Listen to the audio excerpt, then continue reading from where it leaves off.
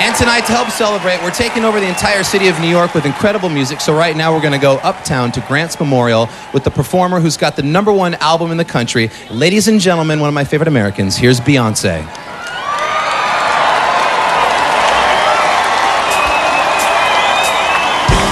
Certified quality, quality. That the girl them need and the crowd every day without apology, without apology. Walk them the right way, that's my policy. Sean da Paul